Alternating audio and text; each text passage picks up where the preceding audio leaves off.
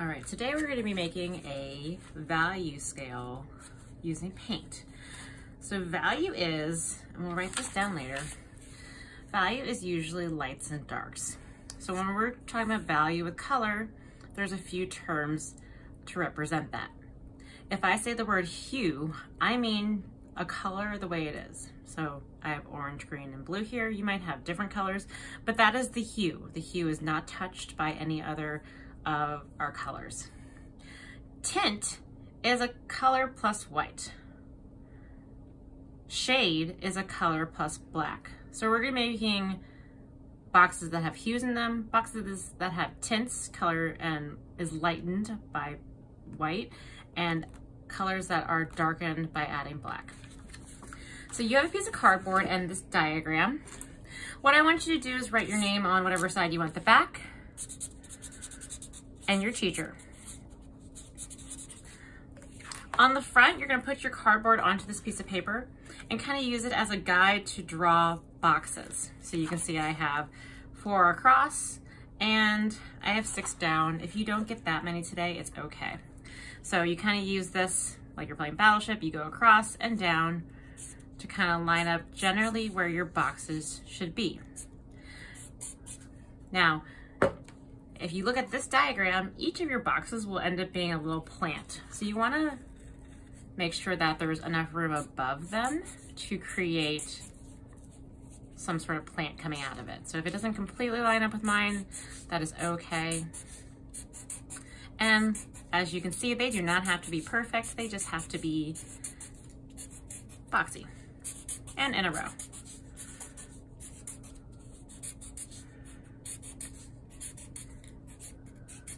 Now, as supplies are being passed out, once you have finished your boxes, you can start adding plants to them. So you can look at mine for examples, or you can use your imagination, but you can start drawing plants inside of these little planting boxes. Trying to be inspired by spring. Plants could be as simple as just different kinds of lines. So I could do zigzag lines and that could represent a plant.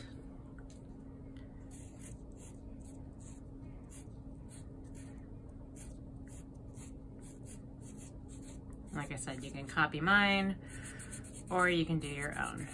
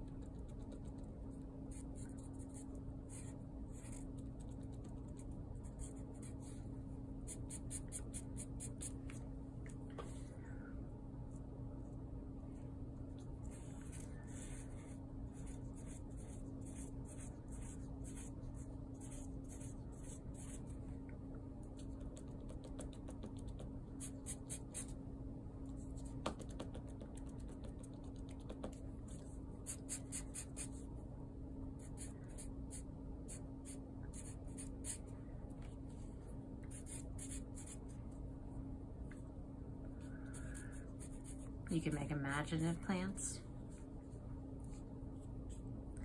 And once again, if you're not done when we move on to the next step, we'll have this again for another week to kind of work on it.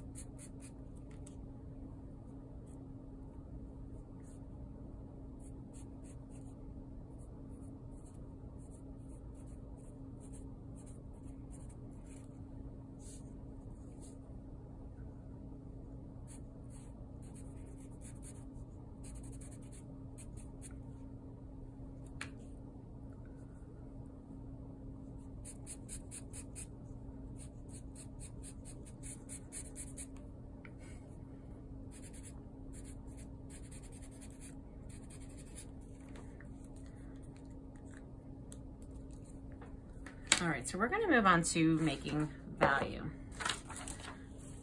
We're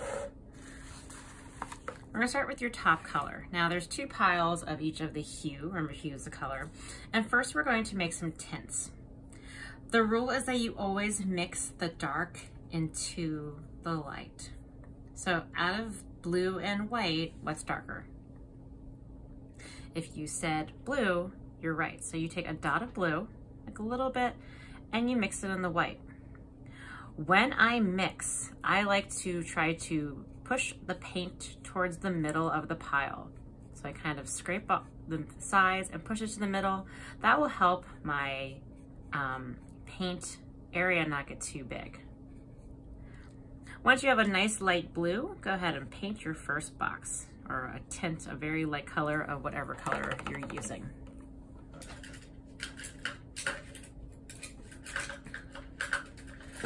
Now this being a value scale, we're going to try to make it slightly darker in each box. So I'm gonna take some more blue and add it to my color. Now, I might not wanna mix the whole pile because it might not change too much or enough. But you're gonna mix until you get another light blue that is slightly darker, but not too far away. So actually I am gonna mix my whole pile for mine. Oh, you know what? That was not quite different enough. I'm gonna mix a little bit on this side here. Oops, that's too different. All right, so you're experimenting, trying to find a good kind of middle or next step of your color and the tint. So this one's like almost white. And because this paint is already white, you probably wanna wipe your brush after you wash it. Okay, I'm going to, um, I'm not going to go all the way over to my other blue, but I'm going to mix another kind of section of blue and try to make a little bit darker blue.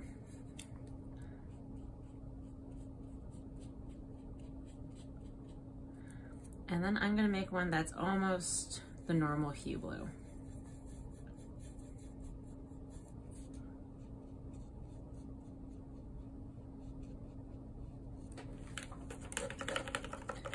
All right, so those are my tints. And our goal is to just experiment to see if we can make even steps. If you can't, that's okay. Um, planters don't have to be a specific color, um, but this is us practicing mixing tints and shades so that way when we do our real project, we're a little better than before.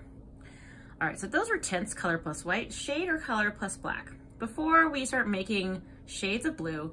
Let's do this first planter just normal hue blue. So nothing added, just blue.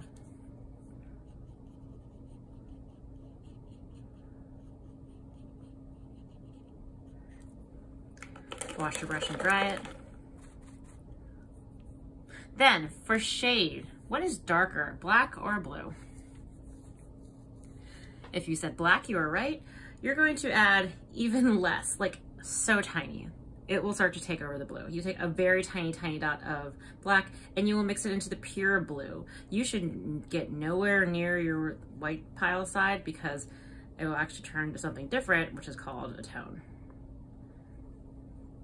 So you just want that pure blue. You want to add a tiny bit of black. I'm to add a tiny bit more. You're to make it a little bit darker, just a little bit.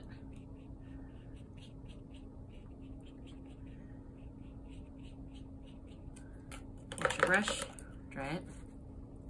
Okay, and I'm gonna make a darker blue, add a little bit more black, I'm gonna get a little braver. Oh, it really takes over though. Gonna make a very, I don't know if you can even see that. It's like super navy, kind of grayish. And the last one's gonna be so dark that it probably will just kind of look black. So I'm gonna add a lot of black to my rest of my blue pile. And that is a very dark shade of blue but blue nonetheless.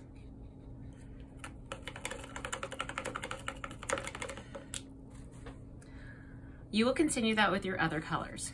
You will ask yourself, okay, I'm doing tint, which is a color plus white. The color is gonna be darker, so I put that into the white. I will mix and I will try to move the color to the middle. so I don't spread it out too much. That's a very light tint of green. That will be my first box. Wash and dry my brush. The next green needs to be a little darker. I will take a scoop of green, add it to my tint pile. I will mix maybe not all of it, but some of it to try to get a slightly darker green. Pushing it towards the middle so my pile doesn't get too big.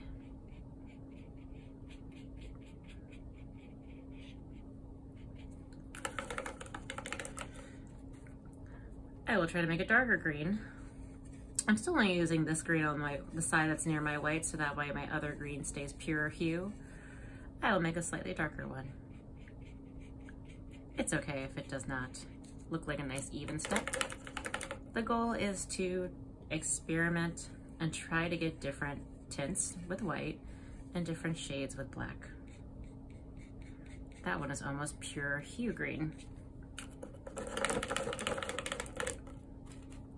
I will start my shades.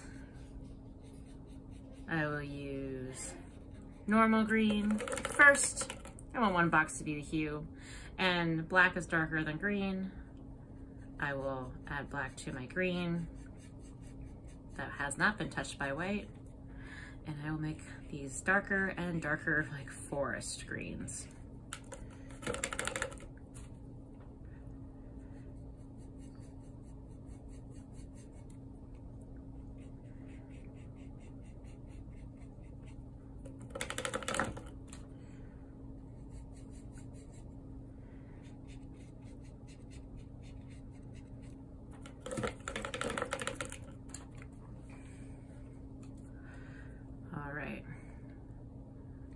I will make a very light orange. My lightest tint.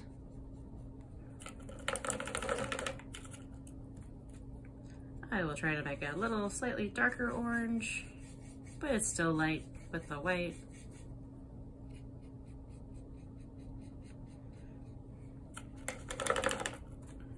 I will try to make it a little darker by adding more orange.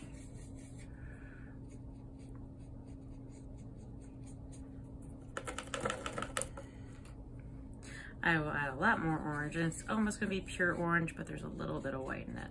So it doesn't look quite the same as my normal paint. My next row will start with the hue, just the color orange, nothing added. I will add a tiny dot of black. It will get kind of neutralized pretty quick. oh, that's not that bad. It might start looking brown. It's a nice kind of umber pottery color, something you might actually see in a garden. Actually, you'd see all these colors in the garden, but sometimes pottery is more earthy like this.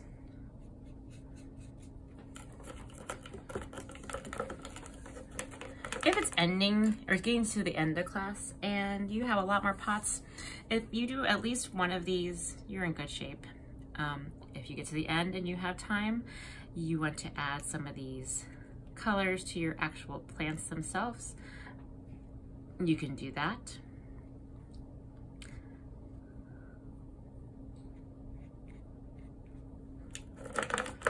It's kind of nice to spread around the colors. You can also mix new colors. Let's make a teal. Why not? A blue-green. How pretty. Okay, let's see here. This could be a succulent.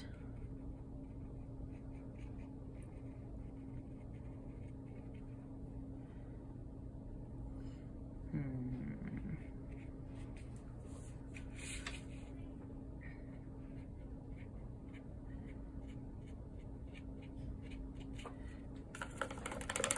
You could decorate the pottery. Maybe some of these darker colors would be good to add little dots or lines. Maybe these lighter colors could add some nice accents to my darker shades. It's up to you how you want to do that. Some colors are not going to play nice together. Uh, orange and Orange and green shouldn't play nice. They might make kind of a, a muddy, actually it's kind of nice. It's like a super grassy color. Maybe this is my super grassy color.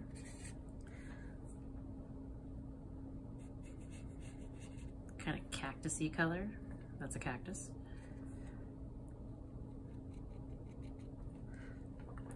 All right, when you're done today, I will have to come get these. You can, well actually, she'll probably, she'll almost like this in class, you could use this as your mess mat. Um, I will put these on the drying rack. You can take this, fold it, and put it with your stuff in your folder.